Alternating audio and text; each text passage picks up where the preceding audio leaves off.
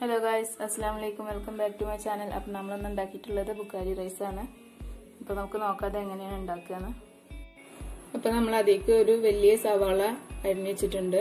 ഒരു മൂന്ന് പച്ചമുളക്. രണ്ട് വലിയ തക്കാളി പ്യൂരി പോലെ ആക്കി വെച്ചിട്ടുണ്ട്. രണ്ട് മാഗി ക്യൂബ് എടുത്തിട്ടുണ്ട്. ഒരു രണ്ട് വലിയ ക്യാരറ്റ് നമ്മൾ ഗ്രേറ്റ് ചെയ്ത് വെച്ചിട്ടുണ്ട്. നമ്മൾ ആവശ്യത്തിന് ഉപ്പ് എടുത്തിട്ടുണ്ട്. ഒരു കുരുമുളക് പൊടി. ഒരു ടീസ്പൂൺ ചെറിയ ജീരകം ഒരു ഡ്രൈ ലെമൺ എടുത്തിട്ടുണ്ട്. നമുക്ക് നോക്കാം എങ്ങനെ ഉണ്ടാക്കുകയെന്ന് അപ്പൊ നമ്മളൊരു അടികട്ടിയുള്ള പാത്രം വെച്ചിട്ടുണ്ട്. നമുക്ക് അതിലേക്ക് ഒരു കാൽ കപ്പ് സൺഫ്ലവർ ഓയിൽ ഒഴിച്ചു കൊടുക്കാം. നന്നായി ചൂടായി വന്നിട്ടുണ്ട്. നമുക്ക് അരിഞ്ഞ് വെച്ച് സവാള ഇട്ട് കൊടുക്കാം.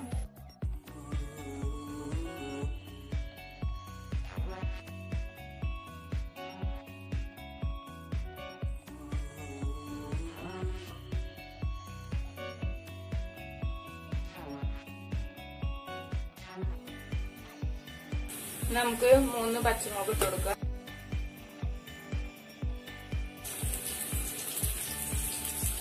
ക്യാരറ്റ് ഇട്ട് കൊടുക്കാം.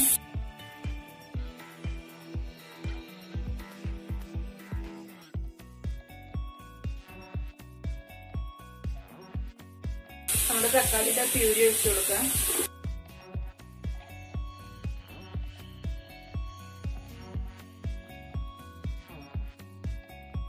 തക്കാളിയുടെ പച്ചമണം മറന്നത് വരെ ഒന്ന് മിക്സ് ചെയ്യാം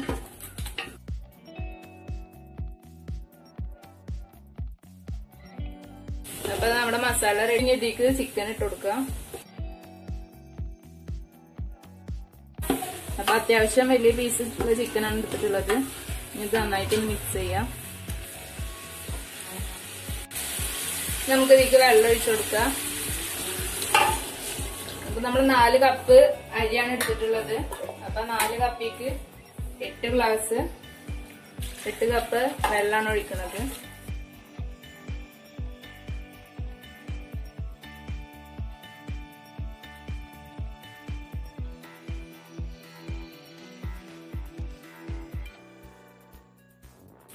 ഇത് നന്നായിട്ടൊന്ന് തിളക്കട്ടെ. നമുക്കിതൊന്ന് മൂടി വെച്ചിട്ട് വേവിച്ചെടുക്കാം.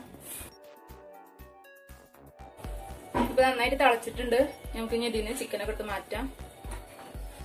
ഇപ്പൊ ചിക്കൻ മൊത്തം നമ്മളൊരു പാത്രത്തേക്ക് മാറ്റിയിട്ടുണ്ട്.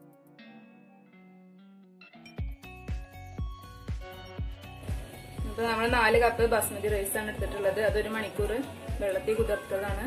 നമുക്കിതൊരു മീഡിയം ഫ്ലെയിമിൽ ഇട്ടിട്ട് നന്നായിട്ടൊന്ന് കുക്ക് ചെയ്തെടുക്കാം. നമ്മൾ ഈ ചിക്കനിക്ക് ഒരു അരമുറി നാരങ്ങ പിഴിഞ്ഞൊഴിക്കുന്നുണ്ട് ഒരു ഡ്രോപ്പ് ഫുഡ് കളർ ഒഴിച്ചു കൊടുക്കാം. നമുക്ക് കളറിന് വേണ്ടിയിട്ടാണ്.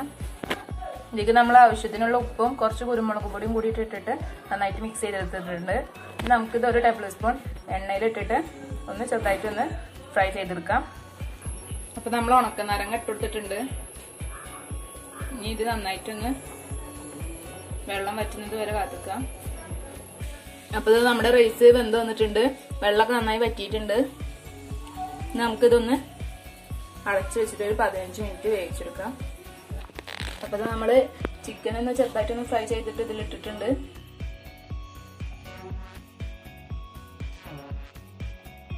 അപ്പോൾ ഇത് നമ്മൾ സർവൻ ഡിഷിലോട്ട് മാറ്റിയിട്ടുണ്ട്. അപ്പോൾ ഈ റൈസ് കഴിക്കാൻ തന്നെ നല്ല ടേസ്റ്റാണ് അപ്പോൾ എല്ലാവരും ഒന്ന് ട്രൈ ചെയ്ത് നോക്കുക. ഇഷ്ടമായി ലൈക്ക് ചെയ്യുക ഷെയർ ചെയ്യുക സബ്സ്ക്രൈബ് ചെയ്യുക. തൊട്ടപ്പുറത്തുള്ള ബെല്ലൈക്കണും കൂടി ഒന്ന് ക്ലിക്ക് ചെയ്യുക. അപ്പോൾ അടുത്ത വീഡിയോയുമായി വരുന്നത് വരെ. ബൈ